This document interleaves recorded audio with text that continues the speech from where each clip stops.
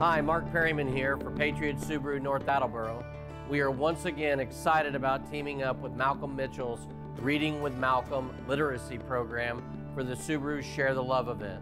His Share the Magic Foundation's mission is to transform the lives of children through literacy. They don't really have a lot of contact with an actual book right now because everything is um, virtual.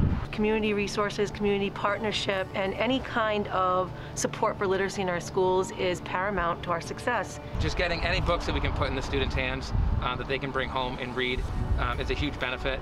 Um, it benefits the family, it benefits the teachers. This is a real gift, and what a great way to show that community cares about what we're doing in schools and about our families than having outreach programs like this. We want to incite that love for reading, get the, the books in the hands of our students. Um, so this really means the world when people from the outside come in and try to make an impact with our children on the inside. Thank you very much to Patriot Subaru. You know, the last two years, we've raised over $140,000.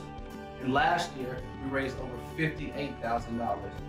Patriot Subaru of North Attleboro, I want to say I appreciate you, I love you all, and thank you. That is what Share the Love is all about.